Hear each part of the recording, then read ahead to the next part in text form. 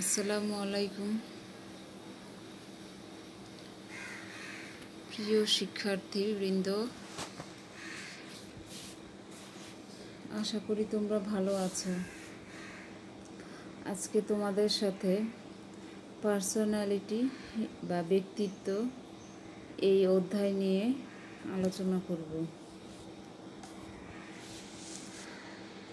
তোমরা এই শব্দটির সাথে খুবই পরিচিত যে পার্সোনালিটি বা ব্যক্তিত্ব।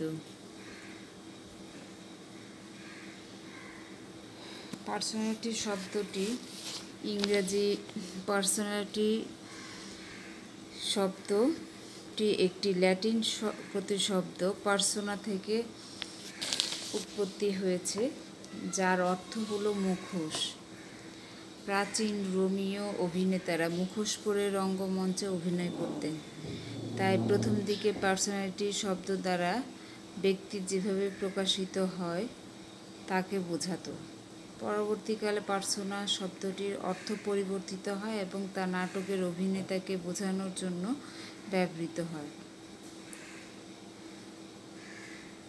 কিন্তু দার্শনিক ব্যক্তিত্বরা ব্যক্তিত্ব বলতে বোঝান যে ব্যক্তির এমন অন্তর্নিহিত কিছু গুণাবলী যা পর্যবেক্ষণযোগ্য আচরণ তৈরি করে। আসলে ব্যক্তিত্ব হলো নিজস্ব ব্যক্তির নিজস্ব কিছু গুণাবলীর সমন্বিত বহিঃপ্রকাশ। ব্যক্তিত্ব হচ্ছে ব্যক্তির বৈশিষ্ট্যের সামগ্রিক রূপ যার মাধ্যমে ব্যক্তির স্বতন্ত্র ভাব ফুটে ওঠে। মানুষের দোষ, গুণ, শক্তি, সামর্থ্য, চেহারা, বিশ্বাস, মনোভাব, ধ্যান ধারণা, মূল্যবোধ, ভাবাবেগ, বৃদ্ধি ও অভিজ্ঞতা, এসব হলো ব্যক্তিত্বের উপাদান। আর আমরা জানি যে সব মানুষের ব্যক্তিত্ব একই রকম না। কারও ব্যক্তিত্ব খুব আকর্ষণীয় বা মোহনীয় আবার কারও ব্যক্তিত্ব অগ্রহণীয়। আর এই ব্যক্তিত্বের বিবেচনা করেই আমরা কাউকে খুব ভালোবাসি, আবার কাউকে খুব ঘৃণা করি। তাই ব্যক্তিত্বের কিছু উপাদান রয়েছে, যেমন শারীরিক গঠন, মেজাজ, মূল্যবোধ, প্রেষণা, আবেগময়তা প্রকাশভঙ্গি ইত্যাদি। তাহলে আমরা ব্যক্তিত্ব বলতে বুঝি যে ব্যক্তিত্ব হচ্ছে আচরণ ও মানসিক প্রক্রিয়ার কার্যক্রম যা প্রত্যেকের ক্ষেত্রে এবং কীভাবে আমরা পরিবেশের সাথে খাপ খাইয়ে চলব তা নির্দেশ করে। মনোবিজ্ঞানীদের মতে ব্যক্তিত্ব হচ্ছে মানুষের এমন কিছু ব্যক্তি গুণাবলীর বৈশিষ্ট্য যা অন্যের মনে রেখাপাত করে এবং অন্যকে আকৃষ্ট করে। ব্যক্তিত্ব হচ্ছে এমন কিছু ব্যক্তি গুণাবলী সমষ্টি যা অন্যের মনে রেখাপাত করে ও অন্যকে আকৃষ্ট করে।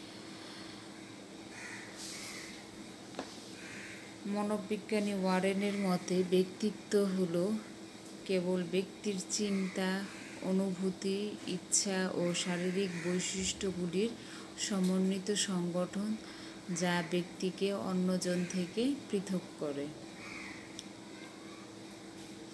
আবার আমরা যদি এসপি রবিন্সের কথা বলি ওনার মতে পার্সোনালিটি হলো যে প্রক্রিয়ায় একজন ব্যক্তি অন্যদের সঙ্গে প্রতিক্রিয়া ও আন্তঃক্রিয়া করে তাকে ব্যক্তিত্ব বলে। তাহলে আমরা বলতে পারি যে ব্যক্তিত্ব হচ্ছে ব্যক্তির সব বৈশিষ্ট্যের সংমিশ্রণ।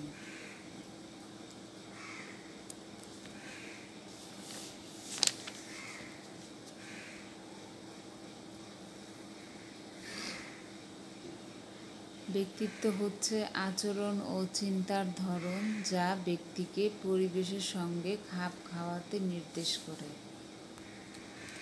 তাহলে ব্যক্তিত্ব হচ্ছে আচরণ ও মানসিক প্রক্রিয়ার কার্যক্রম যা প্রত্যেকের ক্ষেত্রে এবং কীভাবে আমরা পরিবেশের সাথে খাপ খাইয়ে চলব তা নির্দেশ করে। আর মনোবিজ্ঞানীদের মতে ব্যক্তিত্ব বলতে বোঝায় মানুষের এমন কিছু গুণের সমষ্টি বা গুণাবলীর সমষ্টি যা অন্যের মনে রেখাপাত করে এবং অন্যকে আকৃষ্ট করে। তো এবার আমরা দেখি যে ব্যক্তিত্বের বৈশিষ্ট্য বা ব্যক্তিত্বের লক্ষণ কী। ব্যক্তিত্বের লক্ষণ হলো আত্মসচেতনতা, সামাজিক পরিবেশ বান্ধব, সামাজিক ক্রিয়া, বুদ্ধিমত্তা, সাফল্য অর্জন, আবেগময়তা, মূল্যবোধ ও অনুরাগ। শারীরিক ও মানসিক গঠন, মেজাজ, আত্মবিশ্বাস, প্রকাশভঙ্গি। এবার চলো আমরা একটু এই পয়েন্টসগুলো একটু আলোচনা করি। আত্মসচেতনতা বা সেলফ সেলফ কনসাস ব্যক্তিত্বের প্রধান বৈশিষ্ট্য হলো আত্মসচেতনতা। ব্যক্তি হলো আত্মসচেতন সত্তা মানুষ সচেতন বলে মানুষকে ব্যক্তিত্ব সম্পন্ন প্রাণী বলা হয়। সামাজিক। ব্যক্তির অপর একটি উল্লেখযোগ্য বৈশিষ্ট্য হল ব্যক্তি সম্পূর্ণরূপে সামাজিক। সমাজের অন্যান্য মানুষের সাথে ক্রিয়া প্রতিক্রিয়ার মাধ্যমে ব্যক্তি নিজের সম্পর্কে অবগত হয়।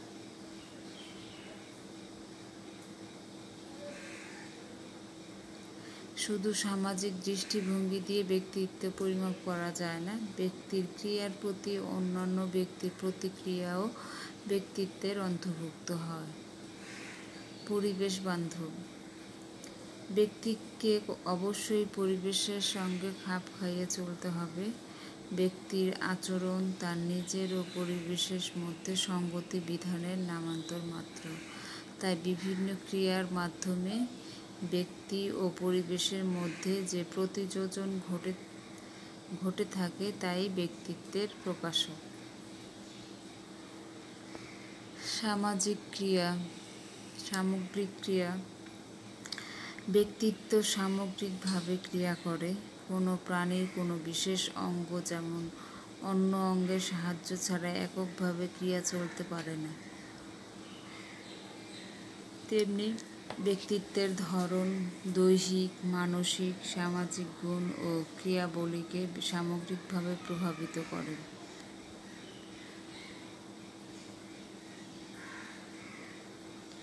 বুদ্ধিমত্তা। একজন ব্যক্তির শিক্ষা গ্রহণ ও আগের অভিজ্ঞতাকে কাজে লাগানোর ক্ষমতা ও উপযুক্ত সমাধানের দক্ষতাকে বুদ্ধিমত্তা বলে। ব্যক্তি তার বুদ্ধিমত্তা দিয়ে পরিবর্তিত পরিস্থিতির সঙ্গে নিজেকে খাপ খাইয়ে নিতে পারে। এক্ষেত্রে বুদ্ধিমত্তাই ব্যক্তিত্বের পরিচয়। সাফল্য অর্জন।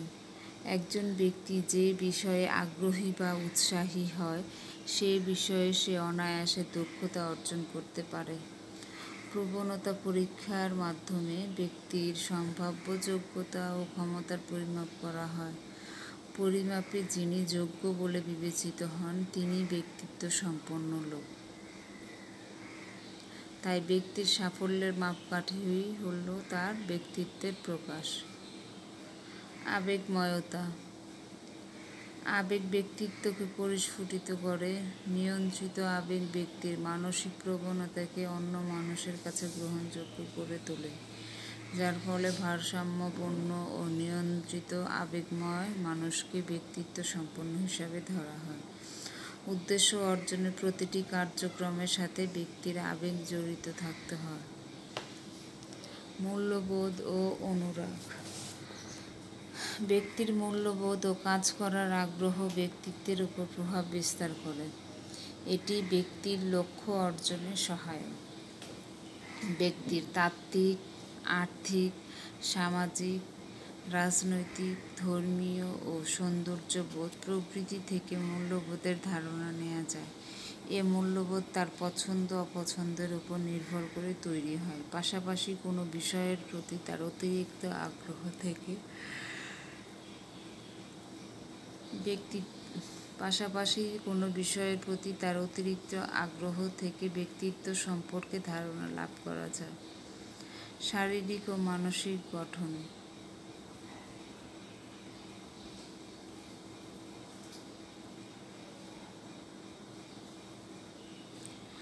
ব্যক্তির শারীরিক, মানসিক কাঠামো ব্যক্তিত্ব প্রকাশে সহায়ক। যেমন, একজন বলিষ্ঠ লোক, একজন অসুস্থ লোকের ব্যক্তিত্বের মধ্যে পার্থক্য আছে।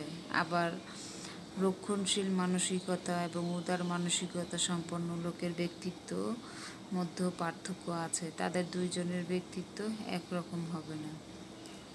তাই ব্যক্তির দৈহিক গঠন, সৌন্দর্য, মানসিক সুস্থতাই এই সমস্ত ব্যক্তিত্বরই অংশ। মেজাজ। মেজাজ ব্যক্তির ব্যক্তিত্বের উপর রেখাপাত করে। মানুষ ঠান্ডা ও কিটমিটে ওই দুই ধরনেরই হতে পারে। এই দুই ধরনের ব্যক্তিত্বের মধ্যে উল্লেখযোগ্য পার্থক্য বিদ্যমান।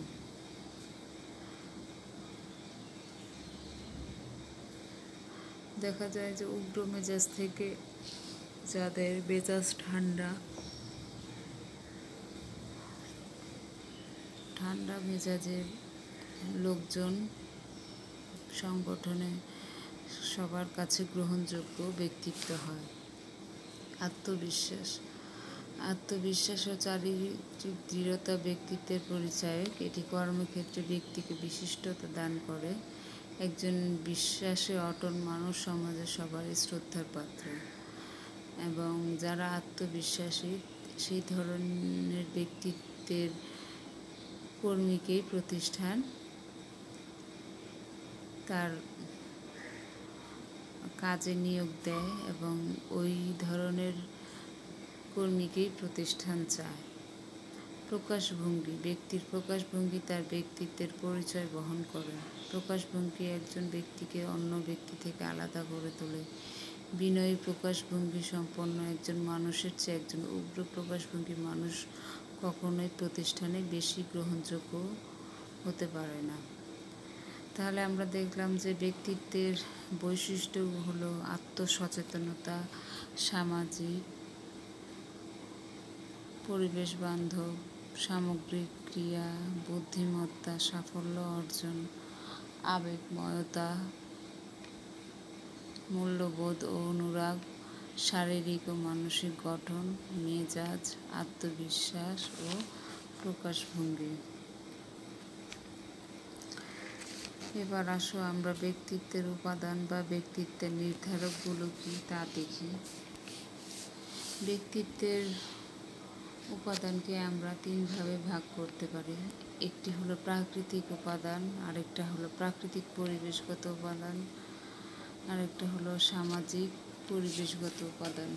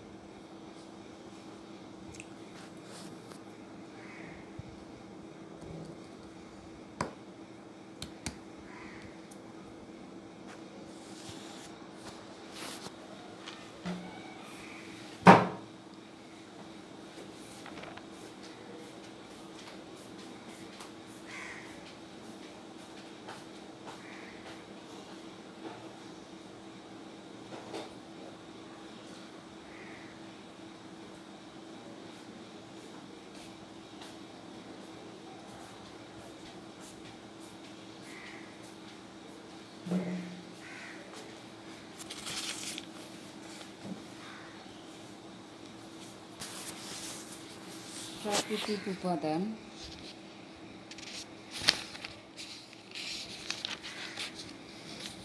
প্রাকৃতিক উপাদানের মধ্যে আছে বংশধারা, দৈহিক গঠন অন্তঃক্ষরা গ্রন্থি। তো বংশধারার মধ্যে আমরা বলতে পারি যে ব্যক্তিত্বের উপর মানুষের বংশের প্রভাব লক্ষণীয়। উত্তরাধিকার সূত্রে মানুষ পূর্বপুরুষদের কাছ থেকে এমন কিছু বৈশিষ্ট্যের অধিকারী হয় যা তার ব্যক্তিত্ব গঠনে প্রভাব বিস্তার করে। আর বংশধারার প্রভাব, এটা একটি বৈজ্ঞানিক সত্য। এজন্য দেখা যায় যে অনেক সময় ছেলের ব্যক্তিত্বের মধ্যে বাবার ব্যক্তিত্বের ছাপ পাওয়া যায়। দৈহিক গঠন দৈহিক গঠনের উপরও ব্যক্তিত্ব নির্ভর করে। ব্যক্তির নিজস্ব ব্যবহার অন্যর সঙ্গে তার আচরণ, দৈহিক গঠন দ্বারা প্রভাবিত হয়।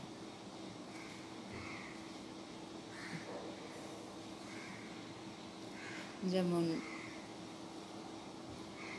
দেখতে সুন্দর, লম্বা, এরকম ব্যক্তি তার দেখতে ভালো না কিংবা বেটে তা এই ধরনের বন্ধুদের তুলনায় বা মানুষদের তুলনায় যে সুন্দর দেখতে, তারা অনেক সুবিধা ভোগ করে।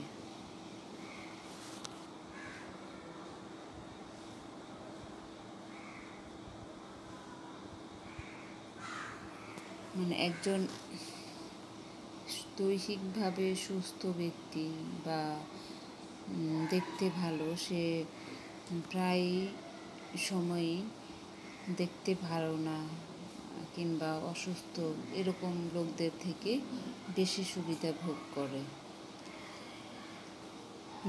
এই জন্য এক মনোবিজ্ঞানী দৈহিক গঠনের সঙ্গে ব্যক্তিত্বের গভীর সম্পর্ক রয়েছে বলে তিনি উল্লেখ করেছেন।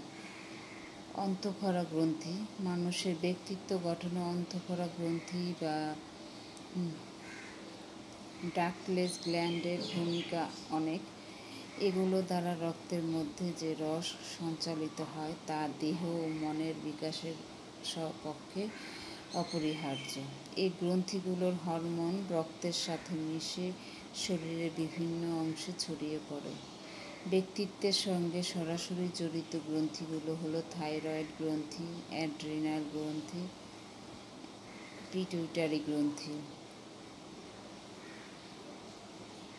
থাইরয়েড গ্রন্থি নিঃসৃত রস শরীরের কোষ বিভক্তি এবং যৌন তাপ উৎপাদনের পরিমাণ নিয়ন্ত্রণ করে। এ রসের কমতি দেখা দিলে মানুষ ক্রমেই স্থূল এবং অলস হয়ে পড়ে। আবার যদি থাইরয়েড গ্রন্থির নিঃসৃত রসের পরিমাণ বেশি হয়, তাহলে মানুষ বেশি কর্মচঞ্চল হয়ে পড়ে।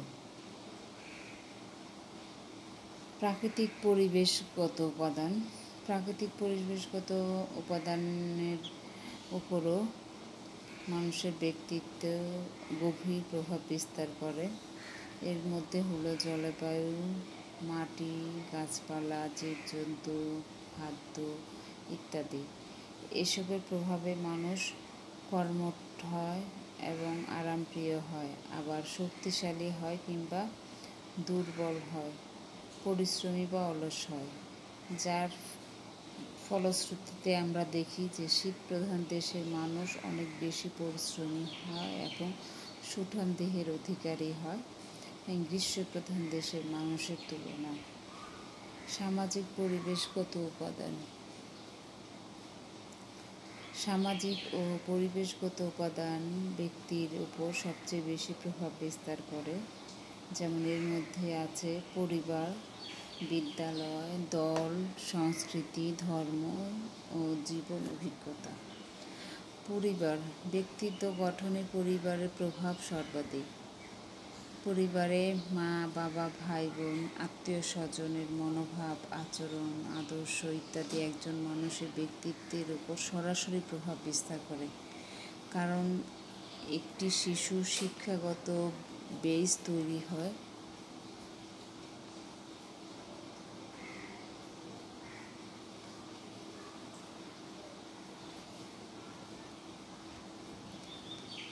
কারণ একটি শিশুর শিক্ষাগত বেস তৈরি হয় পরিবার থেকে।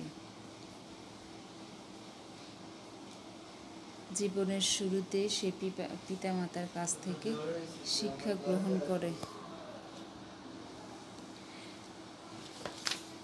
বিদ্যালয়, ব্যক্তিত্ব গঠনে পরিবারের পরে শিক্ষা প্রতিষ্ঠানের ভূমিকা রয়েছে।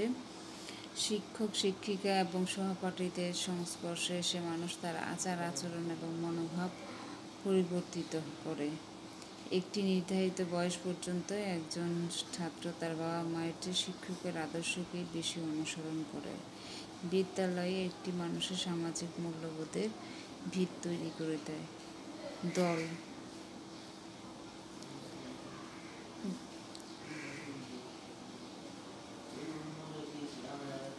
পরিবারের বন্ধু, খেলার সাথী বা সামাজিক দল, পেশাগত সংগঠন ইত্যাদির সাথে সম্পৃক্ত হয়ে মানুষ বিভিন্ন ধারণা লাভ করে যা ব্যক্তিত্বের উপর প্রভাব বিস্তার করে।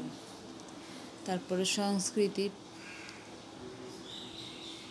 প্রত্যেক মানুষ যে সম্প্রদায়ের মধ্যে গড়ে ওঠে, সে সম্প্রদায়ের মূল্যবোধ, রীতিনীতি, ঐতিহ্য, আচার, আচরণ ইত্যাদি ব্যক্তিত্বকে প্রভাবিত করে। সাংস্কৃতিক রীতিনীতি একজন মানুষের রুচিবোধ ও সামাজিক গ্রহণযোগ্যতার মাত্রাকে বাড়িয়ে দেয়। ধর্ম, যে মানুষ যে ধর্মের অনুসারী, সে মোতাবেক তার ব্যক্তিত্ব গড়ে ওঠে। তাই ব্যক্তিত্ব গঠনে ধর্মের ভূমিকা অস্বীকার করা যায় না। যেমন মুসলিম ধর্মের লোকজন জানে যে মদ খাওয়া হারাম, তো তারা এটা খাবে না। সেই রকম ভাবেই তার ব্যক্তিত্ব গড়ে ওঠে। আবার দেখা যায় যে অন্য ধর্মে এটা হারাম না। তারা এটা অহরহই খেয়ে থাকে। তো এটা আসলে ধর্মের, যে ধর্মের অনুসারী, সে ধর্ম বা রকম অনুযায়ী তার ব্যক্তিত্ব গড়ে ওঠে। জীবন অভিজ্ঞতা, প্রত্যেক মানুষের জীবনে বিভিন্ন ঘটনা অভিজ্ঞতা সৃষ্টি হয়। জীবন সম্পর্কিত এসব ঘটনা বা অভিজ্ঞতা মানুষের ব্যক্তিত্ব গঠনে, মানুষের ব্যক্তিত্বকে গঠন করে ও পুনর্গঠন করে। অভিজ্ঞতা মানুষকে জ্ঞান অর্জন ও বর্জনকে নির্ধারণ করে। এই হলো আমাদের ব্যক্তিত্বের উপাদান, যে তিনটা উপাদান আছে, একটা হলো প্রাকৃতিক উপাদান আর একটা হলো প্রাকৃতিক পরিবেশগত উপাদান, এবং থার্ড হলো সামাজিক পরিবেশগত উপাদান। ব্যক্তিত্ব মূল্যায়ন। ব্যক্তিত্ব মূল্যায়ন তিনটি পদ্ধতি চারটি পদ্ধতি আছে। একটি হলো পর্যবেক্ষণ, মূল্য পরিমাপক, সাক্ষাৎকার এবং অভিজ্ঞা বা টেস্ট। পর্যবেক্ষণ পদ্ধতির সাহায্যে ব্যক্তির বাহ্যিক আচরণ পরীক্ষা, নিরীক্ষা করে ব্যক্তিত্ব পরিমাপ করা হয় এবং বিশেষ পরিস্থিতিতে ব্যক্তি যে আচরণ করে সেগুলো দেখা হয়। যেমন প্রাকৃতিক পরি এই পর্যবেক্ষণ আবার দুই ধরনের। প্রাকৃতিক পর্যবেক্ষণ ও নিয়ন্ত্রিত পর্যবেক্ষণ। প্রাকৃতিক পর্যবেক্ষণ হলো কোনো রকম নিয়ন্ত্রণ ছাড়া প্রাকৃতিক পরিবেশে ঘটা কোনো ব্যক্তির বৈশিষ্ট্যকে অনুরূপভাবে নিরীক্ষণ করাই হলো প্রাকৃতিক বা মুক্তভাবে পর্যবেক্ষণ, যেমন মানুষের ক্রোধ ও বিষণ্ণতা লক্ষ্য করা। আর নিয়ন্ত্রিত পর্যবেক্ষণ হলো যে নিয়ন্ত্রিত পরিবেশে অভ্যস্ত সুসংহতভাবে ব্যক্তির ব্যক্তিত্ব পর্যবেক্ষণ করাকে নিয়ন্ত্রিত পর্যবেক্ষণ বলে। এই পর্যবেক্ষণের জন্য পরীক্ষাগারের প্রয়োজন, যেমন ব্যক্তির বুদ্ধি, স্মৃতি পরিমাপের জন্য পরীক্ষাগারের প্রয়োজন হয়। মূল্য মাপক বা রেটিং স্কেল গুণ বা বৈশিষ্ট্যের পরিমাপ অনুসারে ব্যক্তিত্ব বিচার করা এই পদ্ধতির উদ্দেশ্য। যেমন এখানে আছে নাম ভিত্তিক তারপরে রৈখিক, ক্রমিক, চেকলিস্ট এবং বাধ্যতামূলক নির্বাচন। এরপরে আসো সাক্ষাৎকার। সাক্ষাৎকারের মধ্যে নিয়ন্ত্রিত সাক্ষাৎকার, অনিয়ন্ত্রিত সাক্ষাৎকার। এই প্রক্রিয়ায় অনিয়ন্ত্রিত সাক্ষাৎকার।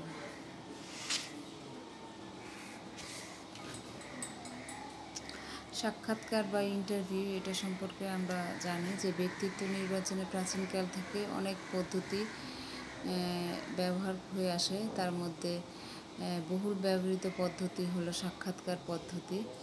এই পদ্ধতিতে সাক্ষাৎকার গ্রহণকারী প্রার্থীকে সামনাসামনি উপস্থিত করে প্রশ্ন ও উত্তরের মাধ্যমে তার ব্যক্তিত্বের অভিষ্ট দিকগুলো যাচাই করা হয়। এক হলো অনিয়ন্ত্রিত সাক্ষাৎকার। এই প্রক্রিয়ায় মুক্ত পরিবেশে প্রত্যেক সাক্ষাৎকার গ্রহণকারী পরীক্ষার্থীকে নিজে খুশি মতো প্রশ্ন জিজ্ঞেস করে। সাক্ষাৎকারের বিষয়বস্তু প্রত্যেক সাক্ষাৎকারীর বেলায় আলাদা করা হয়। এতে অভিক্ষার্থী অনেকটা সহজ হতে পারে এবং স্বাচ্ছন্দ্য বোধ করে। পক্ষান্তরে এর দ্বারা বিভিন্ন পরীক্ষার্থীর মধ্যে তুলনা করা কষ্টকর হয়। নিয়ন্ত্রিত সাক্ষাৎকার এই পদ্ধতিতে নিয়ন্ত্রিত পরিবেশে প্রত্যেক পরীক্ষার্থীকে একটি নির্দিষ্ট তালিকা অনুযায়ী প্রশ্ন করা হয়। এইখানে আলোচনার ধারা একটি সুনির্দিষ্ট গতিতে অগ্রসর হয়। অনেক সময় সাক্ষাৎকার ত্রুটি মুক্ত করার জন্য রেটিং স্কেল ব্যবহার করা হয়। চাপমুক্ত সাক্ষাৎকার। তীব্র চাপমূলক পরিস্থিতিতে ব্যক্তির ক্ষমতা যাচাই করার জন্য এই পদ্ধতি ব্যবহার করা হয়। এই পদ্ধতিতে পরীক্ষার্থীর উপর চাপ সৃষ্টি করা হয়। এই চাপের মুখে সে কতটুকু স্বাভাবিক আচরণ করতে পারে তা দেখা হয়। তার প্রতি আক্রমণাত্মক আচরণ করে তাকে নিরুৎসাহিত করার চেষ্টা করা হয়। ক্রান্তিমূলক সাক্ষাৎকার। এ পদ্ধতিতে কয়েকজন সাক্ষাৎকার গ্রহণকারী দীর্ঘ সময় ধরে পরীক্ষার্থীকে প্রশ্নের পর প্রশ্ন করতে থাকে যাতে সে ক্লান্ত হয়ে পড়ে। এতে পরীক্ষার্থীর মানসিক প্রতিরোধ ব্যবস্থা ভেঙে পড়ে এবং তার মানসিক দৈন্য অসংগতিগুলি ধরা পড়ে। এ পদ্ধতিতে ব্যক্তির বাহ্যিক মুখোশের আড়ালে লুকাইতে দুর্বলতা প্রেষণা বা দৃষ্টিভঙ্গিগুলো অকৃত্রিমভাবে আবিষ্কার করা সম্ভব।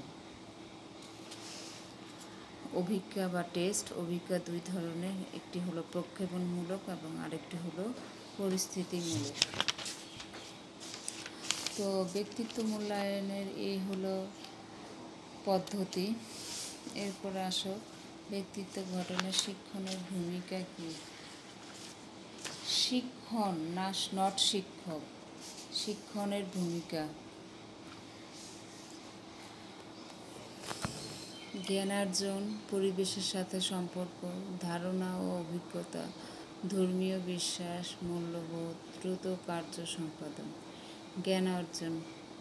শিক্ষণের মাধ্যমে ব্যক্তি বিভিন্ন বিষয়ে জ্ঞান অর্জন করে।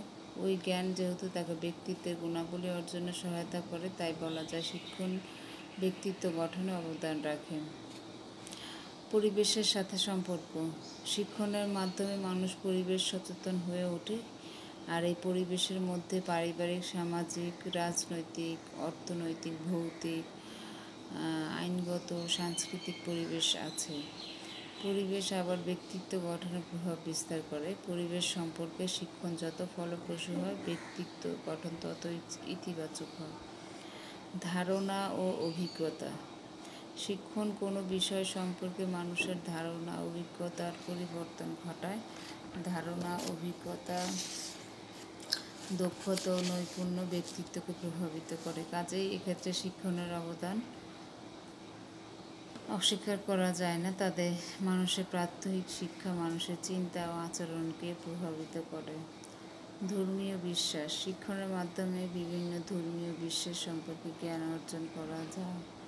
ধর্মীয় বিশ্বাস ও আদর্শ যেহেতু ব্যক্তিত্বের উপর প্রভাব বিস্তার করে, তাই আমরা নির্দ্বিধায় বলতে পারি শিক্ষণ ব্যক্তিত্ব গঠন ও পরিবর্তনে সহায়তা করতে পারে। ধর্মীয় বিশ্বাস মানুষকে উদার ও রক্ষণশীল হিসাবে তৈরি করে, মূল্যবোধ। শিক্ষিত মানুষের মূল্যবোধ উন্নত হয়ে থাকে। ব্যক্তিত্ব মানুষের মূল্য দ্বারা পরিবর্তিত হয়। কোনো ধরনের মূল্যবোধ গঠনে শিক্ষণ সাহায্য করে, তা প্রতিফলিত হয় ব্যক্তিত্বের বহিঃপ্রকাশের মাধ্যমে। মূল্যবোধ থেকেই মানুষ দ্রুত কার্য সম্পাদন শিক্ষণের ফলে কর্মীরা নতুন নতুন তথ্য, প্রযুক্তি ও কলা কৌশল সম্পর্কে কোনো জ্ঞান লাভ করে। আবার নতুনত্বকে আয়ত্ত করার জন্য মানুষ প্রশিক্ষণ গ্রহণ করে। ফলে পরিবর্তিত অবস্থার সাথে তাল মিলিয়ে চলার ক্ষমতা অর্জন করে এবং দ্রুততার সাথে কার্য সম্পাদনে সক্ষম হয়। এই হলো আমাদের ব্যক্তিত্ব গঠনে শিক্ষণের ভূমিকা। এটা ছোট চ্যাপ্টার তাই আজকে এই পর্যন্তই। এরপরে আমরা নেক্সট ইয়েতে ইনশাল্লাহ মনোভাব মনোভাব মনোভাব হ্যাঁ মনোভাব চ্যাপ্টার দেখব। তোমরা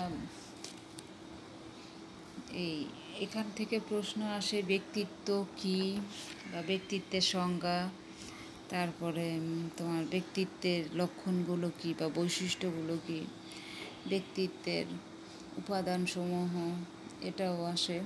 লক্ষণসমূহ আসছিল, উপাদান আসছে, তারপরে তোমার সাক্ষাৎকার, এগুলো ছোট প্রশ্ন হিসাবে আসছে। এই, এটা একটু নিজের